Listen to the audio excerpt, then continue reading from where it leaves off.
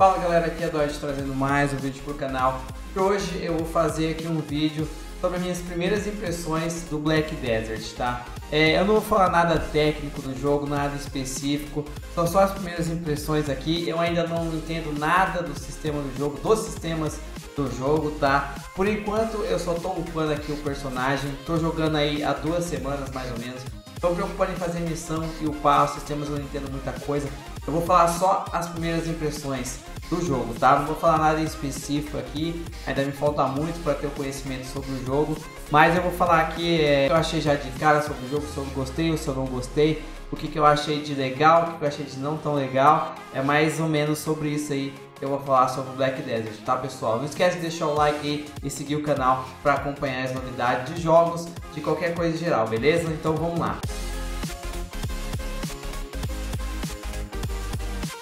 Bom galera, vou falar a primeira coisa aqui que já me chamou a atenção para jogar o Black Desert, que é a questão de golpes, é, skills, o hack and slash, né? É, um estilo de jogo que eu gosto muito é o hack and slash, é, estilo RPG action, é uma coisa que me, que me agrada bastante de jogar, né? Vocês que acompanham o canal aí faz um tempo já, vocês viram que eu já joguei Kurt Spell, né? Eu também joguei, eu jogo Soul Worker, tem outros jogos também hack slash que eu já joguei. Porém, na parte de hack slash, esses jogos são legais, mas na parte de RPG eles pecam muito.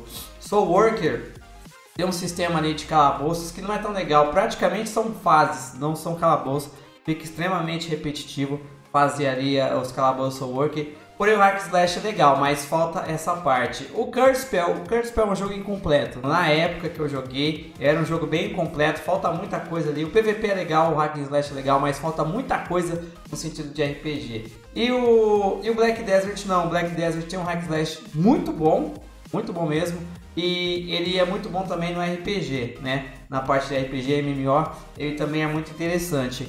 E o jeito que você compra aqui com as skills, são várias skills de todos os personagens aí. A animação é linda, tá? É, de mim mesmo, particular meu, uma coisa que chama muita atenção, uma coisa que me prende, assim, é, que me chama a atenção à primeira vista, que me faz procurar sobre o jogo, é um requisito muito superficial, eu confesso, realmente. Mas o que me chama a atenção de primeira coisa é as animações das skills, né? Porque vamos pensar bem, é, Todo tempo que você joga no jogo, você joga aí umas 6 horas no jogo. O que, que você vai fazer basicamente o tempo todo? Vai bater. Vai bater, vai combar, vai matar bicho, vai, vai dar espadada, vai dar escudadinha, vai dar bastãozinho, vai soltar poderzinho. Então, basicamente, todo tempo que você está jogando o jogo, você vai ter que ficar batendo. E nada mais agradável do que uns efeitos bonitos de golpes, uns combos que você pode jogar legal, hack and slash em si. Então esse é um atributo é bem superficial para você escolher um jogo, mas eu uso, eu costumo usar ele como uma das primeiras coisas para pesquisar sobre o jogo. E o Black Desert não deixa nada a desejar, é muito bonito. Então, é nada melhor do que ficar jogando 6 horas com umas skills bonitas na sua tela aí, uns combos legal para você jogar, tá? Agora vamos na parte da, do dinamismo dos golpes. Eu vou fazer uma comparação com o Cabal, tá? É, o Cabal, ele tem várias skills, são bonitas, é por isso que também jogo Cabal. Tem várias skills, mas elas são. Se você montar um combo, vai ser um combo pré-definido, certo? Você vai soltar o golpe, depois o outro, o outro, o outro, por animação e tal. No Black Desert é um pouco diferente, isso é um pouco Lost Ark também, que tem aqui no Black Desert. Você pode soltar um combo, mas você faz uma sequência aleatória de vários golpes aqui. Os comandos eu ainda tô tentando pegar o jeito aqui, né? Que é diferente de Cabal, que se você só aperta o botão 1 botão do combo e vai soltando as skills. Aqui não. Aqui é para trás F, para frente F, aperta o Q e tal. Mas a dinâmica aqui é que você pode fazer vários combos em tempo real. Ou seja, por exemplo, você está soltando uma, um golpe específico, você pode cancelar esse golpe no meio e já soltar outro. Então é um dinamismo muito bom, é uma dinâmica muito boa. Você pode fazer uma variação muito grande é, você pode soltar um especial e já combar com outro, com outro golpe. Então tem esse dinamismo, deixa mais, dá mais adrenalina você fazer os combos. É do jeito que você quiser, na hora que você quiser. Você não fica com um combo pré-definido. Você faz um combo de forma mais livre, sabe? É, eu gosto muito disso. Esse aqui tem um hack slash. É, é isso que é um hack slash, sabe? É, então eu gostei muito do sistema aqui de batalha. PVP ainda não entro nessa parte, vou demorar muito para entrar no PVP. Precisa um pouco de PS também, né? Tem que correr um pouco atrás da PS. Mas assim, é, é como eu falei, a maior parte do tempo no seu jogo é batendo. E pra mim já me agradou 100% nessa parte. Essa, esse negócio de arma despertada aí também maravilhoso. É, eu fui ver o vídeo antes de escolher a classe. Eu, eu gostei de praticamente todas. Né? Tem umas que eu gostei menos, outras que eu gostei mais. Mas eu gostei de praticamente todas. Eu acabei escolhendo Domadora. E não me arrependo até agora do tempo que eu tô jogando, não me arrependi nem um pouco. Então é maravilhoso aqui o sistema de combo, é mais livre, é mais fluido, é muito mais fluido o sistema de combo aqui. É, você sente uma liberdade de escolher como você vai fazer o combo, ataque à distância, ataque de perto, né? O domadora me parece que é ataque mais de perto, que é ataque mais físico, mas eu gostei muito do sistema de combo. É, então nessa parte aqui maravilhoso. Agora no sistema de de pay to win, né? Pay to win a gente procura um pouco antes para saber sobre esse tipo de coisa, que é uma coisa que vai contar muito na hora de você jogar e na sua experiência no jogo. Me parece que o pay to win aqui realmente é muito fraco, não beneficia ninguém na questão de ficar melhor que o outro por questão de comprar dinheiro. O dinheiro aqui mesmo me parece são dois tipos de dinheiro, né? Eu ainda, como eu falei para vocês, eu ainda não sei mexer muito nos sistemas aqui. O leilão eu aprendi a vender as coisas agora, me parece que você tem que ter dois tipos de, de armazém, o seu armazém e o armazém do comércio, né? Então aqui é uma coisa bem rígida. É, para você comprar as coisas tem o próprio dinheiro do mercado, sabe, do comércio em si. É, fazer uma comparação aí no leilão do Cabal, né? Você tem o seu próprio dinheiro do leilão, não o seu dinheiro do personagem. São dois tipos de dinheiro diferentes. Pelo que eu vi, me corrijam se eu estiver errado. Então é uma coisa bem mais rígida aqui. O pay to win não é tão forte assim, né? Beneficia um pouco aí, comprar uns negócios, umas fantasias, se eu não me engano. É cabana, eu acho, alguma coisa assim. Mas no pay to win tá muito bom. Bom, eu vim de Cabal Online, eu jogo Cabal Online. Então, um pouquinho menos de pay to win já tá ótimo. Então, Black Desert nem tem é, tanto pay to win assim, não é tão forte. Então eu já gostei bastante. Eu, eu sei que é uma coisa que não vai me decepcionar no jogo, tá? Bom, eu jogo Cabal, então tá safe nessa parte aí. Pelo menos é, é mais uma coisa que eu vejo como positivo no jogo, tá? Questão aqui de montaria. Também gostei muito, né? Eu que estava jogando o Icarus Online, eu vi que tem um sistema parecido aqui, pelo menos para você domar cavalo, sistema bem parecido. Eu gostava bastante do sistema de doma no Icarus aqui é semelhante, né? Você pode domar os seus cavalos aí que está no meio do mapa. É, não é tão difícil, demorei um pouquinho para pegar no jeito ali, mas não é tão difícil. E, e me parece até que existe um certo comércio aí é, de doma e venda de cavalos também. É, tem que saber mexer tudo certinho aí, eu vou ver isso depois. Mas parece muito interessante, você pode criar seu. Eu acho que pode comprar também né, o seu cavalo. Mas já gostei bastante disso, isso dá mais opções aí para você ter o seu para você ter a sua doma é, no questão do, da minha classe domadora ela tem o seu próprio ela tem o seu próprio meio de transporte ali que é uma um tigre é uma pantera do mal ali uma besta deixa eu usar aqui para vocês para vocês dar uma olhada vou usar aqui para vocês eu fui descobrir depois que eu fui pegar o cavalo aqui né mas ela tem o seu próprio sistema de montaria Pode subir aqui, ó. Tá?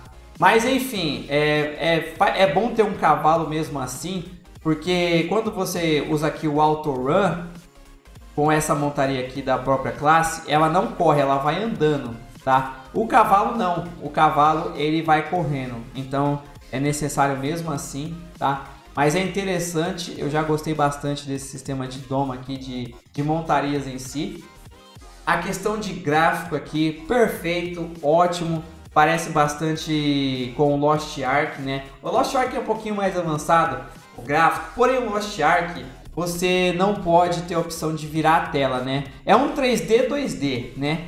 Fica num cenário só e você vai andando para lá e para cá. Não pode virar a câmera. Aqui não. Aqui é bem parecido o gráfico com o Lost Ark, porém você tem a opção de virar em 3D, né? Então eu já gostei bastante. Uma vantagem aqui, mano, é que o gráfico de, de Black Desert é lindo e é leve, mano. É muito leve. Eu coloquei no meu PC aqui, eu consigo fazer live tranquilo jogando aqui o Black Desert.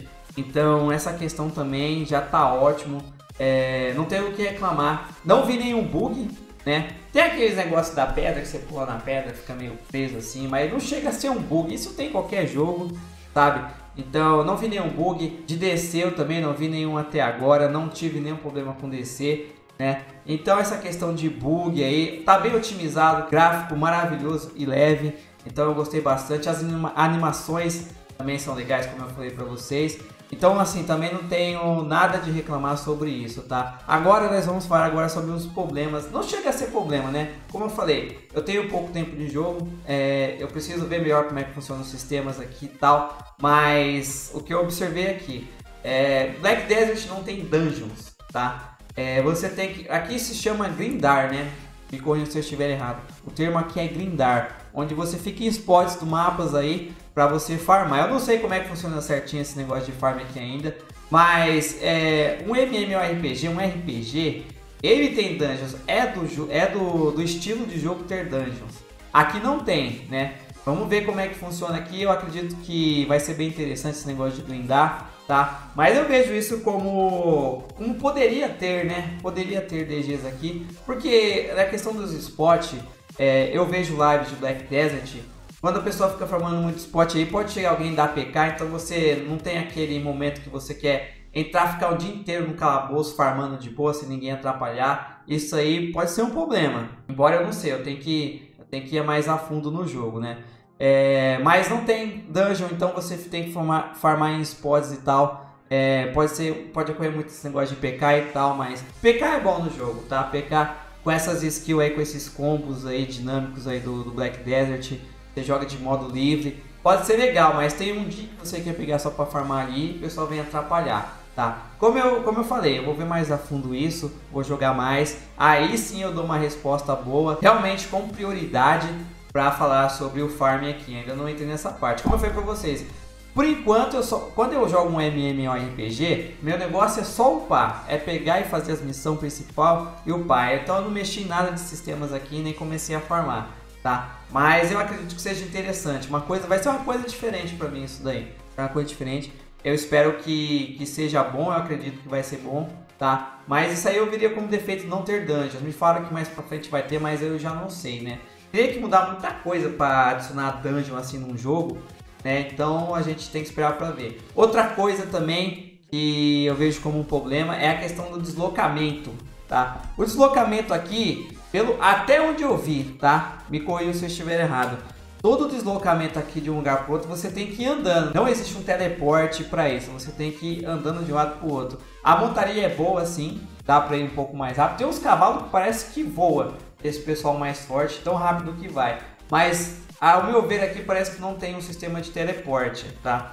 Isso para mim pode ser problemático, porque eu estou fazendo missão, né? Como eu falei pra vocês no começo do jogo, eu tenho que andar muito de um lado para o outro. Às vezes eu perco 20 minutos andando, né? O auto run ajuda, né? Que você aperta e ele vai andando de boa. Você não precisa ficar é, apertando o botão para ele andar. Mas esse sistema de deslocamento aí eu acho muito complicado. Até o Perfect World tem um sistema aí de teleporte, até onde eu sei, né? Que é um jogo gigantesco. Mas aí para mim chega a ser um problema. Eu não sei se tem alguma coisa premium faz para teleportar e tal. Mas a montaria ajuda bastante nesse sentido. Eu acredito que um teleporte poderia ser adicionado aí para ajudar. Ou alguma coisa, eu acho que o teleporte aí, alguma coisa parecida assim, poderia ajudar. Não sei se tem, né? Eu vou jogar mais pra frente e vou descobrir. Em lives que eu vejo, eu sempre vejo o pessoal andando, não vejo ninguém teleportando. Mas mais pra frente a gente vê isso aí. Só algumas ressalvas aí que, que eu vejo de, de primeira impressão, né? Tudo é primeira impressão. Então a gente ainda não tem uma opinião ainda sólida sobre esses sistemas e essas coisas aí, beleza, pessoal? Eu ainda também, eu percebi que aqui tem um sistema de craft, aqui tem um sistema de aprimoramento, óbvio. É, essa parte aí eu vou entrar bem depois, né? Porque você tem que estar já um pouquinho estabelecido aí no jogo, mas isso só agrega muito mais ao RPG, né? Porque RPG é isso. Então, é, tem bastante, tem muito tipo de sistema aqui. Deixa eu mostrar uma, um pouco para vocês aqui, ó. Tem vários sistemas aqui. Esse aqui é o mercado mundial, como eu falei para vocês, tá? É, então tem muito sistema, tem muito que aprender. Missão aqui tem infinitas missões aqui, tá? Então é um jogo que você não vai ficar parado, tá? Eu só tenho que ver essa parte do grind aí, que pode ficar muito repetitivo para você farmar. Eu tenho que ver essa parte aí. Mas você não fica parado no jogo. O sistema, é, na questão de PVP, é uma coisa que eu vou entrar mais à frente também. Mas você não fica parado no jogo, tem muita coisa para fazer, tem muito sistema. Você pode comprar casa, inclusive eu já comprei uma casa aqui no Black Desert. É, comprei de curiosidade, né? Você pode montar e mobiliar sua casa e tal. Tem muita coisa para fazer nesse jogo. Eu comecei praticamente agora aqui, é, com duas semanas, tá? Eu não estou fazendo live de Black Desert, porque como eu falei, eu estou começando. Eu vou fazer live, o pessoal vem me perguntar sobre o jogo, eu não sei responder. Então, é, mais em breve eu começarei a fazer live de Black Desert na mesma frequência que Cabal, tá? Eu fazia live de Cabal e de Icarus. O Icarus é, deu ruim lá no servidor, foi pro NA, cagaram tudo no servidor. Então o Black Desert vai substituir, porque eu gostei muito do jogo. Tirando uma nota geral aqui, é, para mim tá excelente. O jogo tá excelente, tá? Esses pontos ruins que eu falei, na verdade, são dúvidas, né? Não são pontos ruins, são dúvidas que a gente vai ver mais pra frente. Mas, cara, é ótimo o jogo. Eu, é o tipo de jogo que eu gosto, é o hack and slash que eu gosto, tá? Hack and slash com MMORPG para mim é perfeito. Um que funciona é o Black Desert, já joguei outros. Não, tem uma parte boa, tem uma parte ruim. Black Desert para mim tá funcionando muito bem nesses dois sentidos. Então é, é um jogo que eu vou jogar bastante, tá? Tô jogando mais em offline por enquanto. Mas eu gostei demais do jogo, tá? Então essas são as primeiras impressões, pessoal, tá? É, não é nada termo técnico, né? Falando sobre o sistema.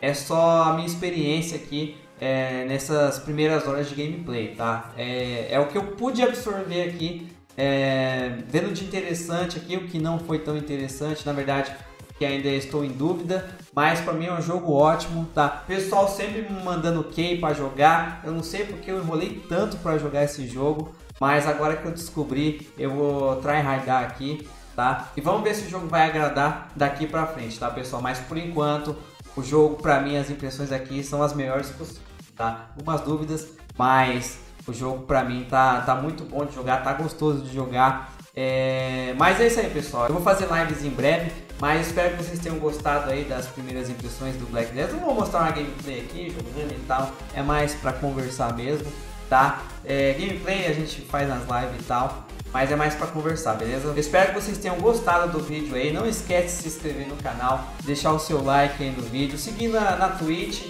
A Twitch é onde as lives ficam salvas, tá? No YouTube é mais vídeo, mas também faço live no YouTube. Não esquece de se inscrever então nessas duas plataformas, deixar o seu like aí e comentar se você tem alguma coisa, alguma dica para tirar aí sobre o jogo.